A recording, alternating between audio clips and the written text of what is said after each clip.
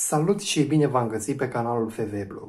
În videoclipul de față vom uh, face un experiment. Anume, vom verifica ce tensiune de stabilizare are o diodă Zener și cum testăm dacă acea diodă este Zener. V-am spus într-un clip trecut că dioda Zener este un tip de special de diodă concepută pentru a permite curentului să curgă înapoi atunci când se atinsă o anumită tensiune inversă stabilită, sub numele de tensiunea Zener. Direct de la anod la catod se comportă ca o diodă cu siliciu, o diodă normală, iar invers se comportă ca o diodă Zener. Înseamnă că odată atinsă tensiunea de stabilizare a acelei diode Zener, nu va depăși acel prag, acea tensiune inversă.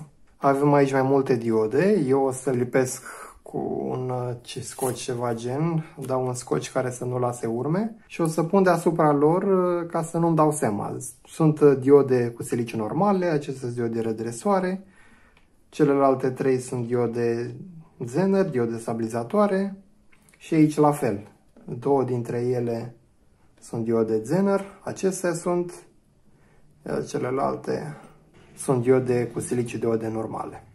Am reușit, am ascuns fiecare diodă, am lipit ca să nu se cunoască de care e. Prima dată, pentru a putea testa, verifica dacă e o diodă Zener și la ce tensiune este acea diodă de stabilizare, dacă este o diodă Zener, trebuie să verificăm anodul și catodul. Hai să luăm uh, o diodă normală, să vedem o diodă mai mare. Să spunem că pe aceasta, da?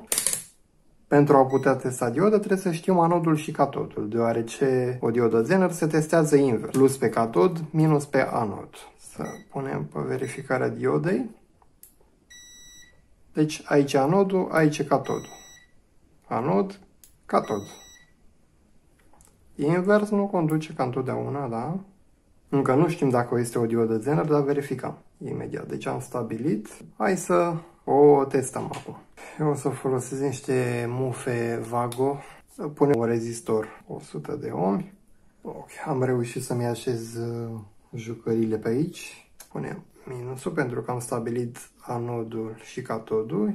Și acum să rotim. Ok.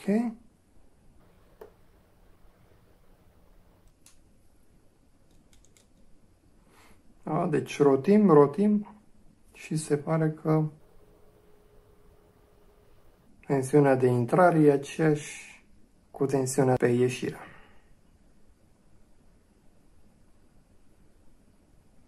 Rotim, mai depășim mie scala pe ăsta, dăm mai sus.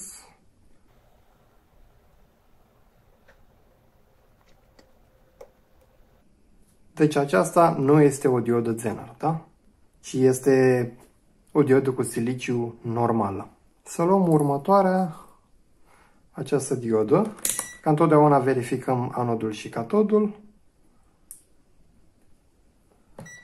Verificarea diodei.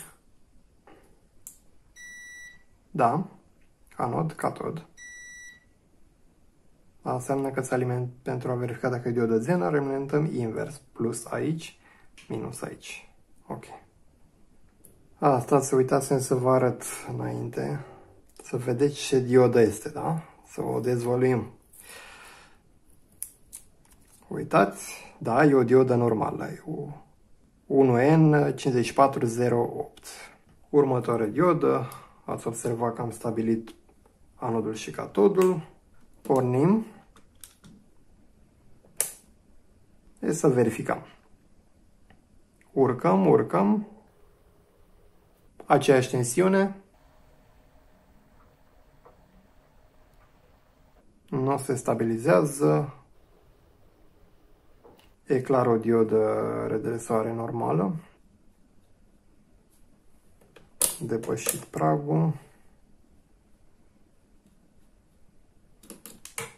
Hai să o verificăm, da? Să vedem dacă chiar este o diodă normală.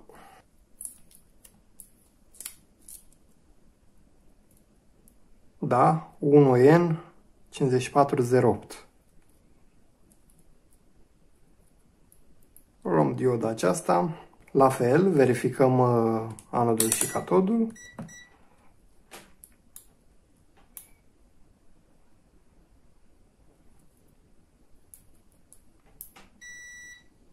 Pornim.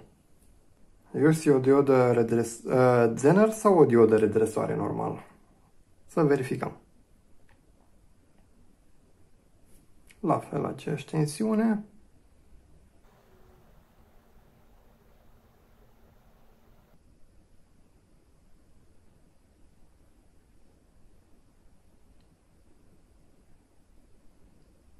Opa! Vedeți? Nu mai urcă. Deci 9,1 volți. Noi ridicăm aici. Vedeți? Asta să încingem mai mult. E bine. Ridicăm și tensiunea rămâne 9,9,2. Nu mai urcă mai mult, că este destul de clar. Este o diodă Zener cu tensiunea de stabilizare de 9,1 volți. Să verificăm. Să verificăm. E 1N5346B. 1N5346B. Cealaltă mai mare nu verific, mai verificăm pentru că știu că am avut două, deci nu mai are sens. Gata, ești.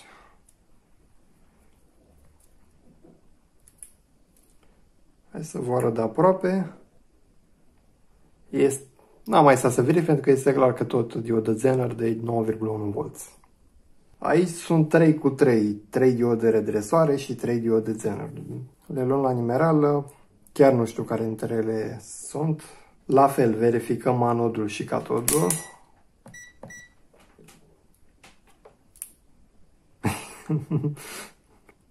da. Asta e diodă Zener. Nu e de 2,1, e mai mult. Ce stabilise... Da.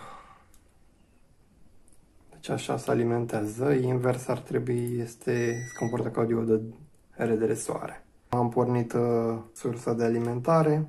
E de 3,3. Uitați-mă o dată.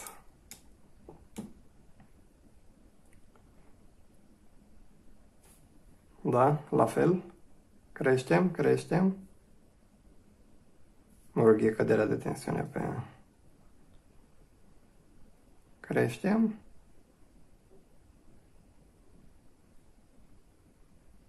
Și aici...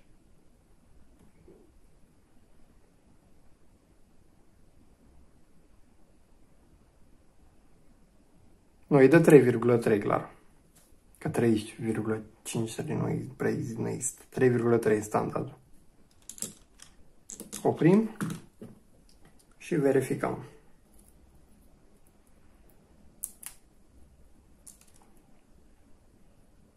Da, e de 3,9 se pare. Scrie pe ea PH ce e BZV da, nu, da, e BZV 85, dar nu știu să le de ce scrie PH și e de 3,9 scrie 3,9.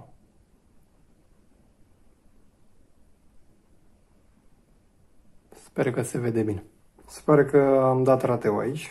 La următoare la fel trebuie să verificăm anodul și catodul. Un moment, am zăpăcit complet. Și anod catod. Tot diode zenarie și asta clar. Pornim alimentarea.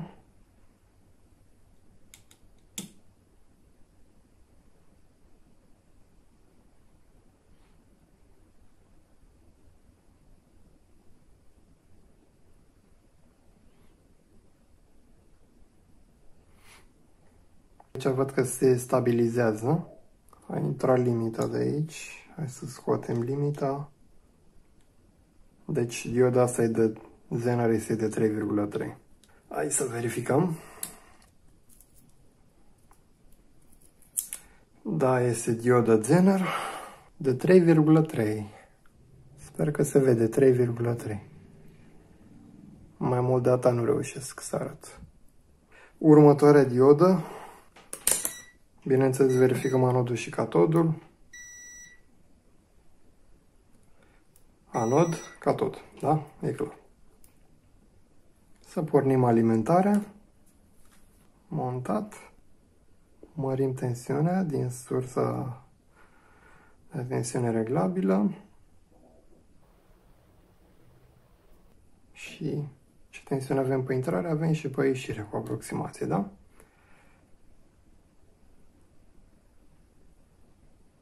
Nu stabilizează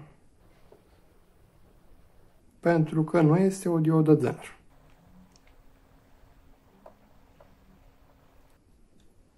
Uitați că a depășit tensiunea. Ok. Nu este o diodă Zener, este clar.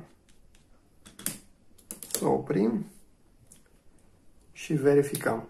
Dezlipim și o diodă redresoare este 1N4001, stai să vă arăt mai de aproape, e 1N4001.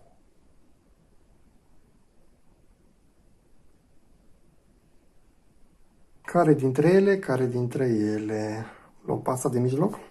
La fel verificăm uh, anodul și catodul. Anod, catod.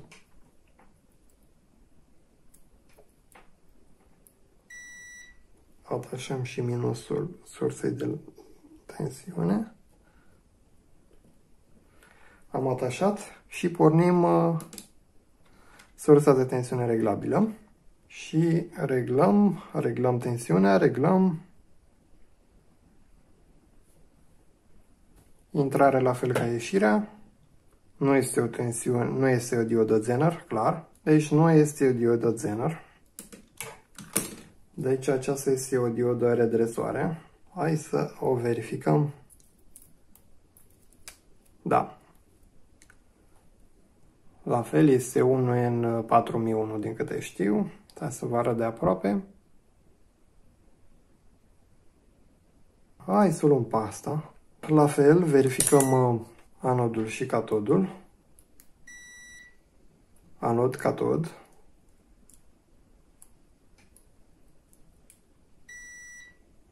și pornim. Oare este o diodă Zener sau o diodă rediresoare cu siliciu normal? O să vedem. Opa, diferența, bingo, este o diodă Zener. E de 5,1 V. Hai să o verificăm. Da, de 5,1 V. Hai să vă arăt de aproape. 5V1, da? C5V1. Și ultima diodă, să o verificăm. La fel ca înainte, anodul și catodul. Un moment să dăm pe diode.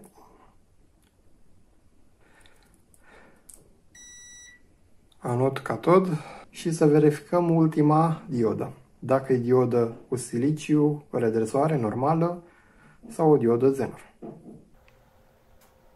Până acum tensiunea de intrare e aceeași ca tensiunea de ieșire.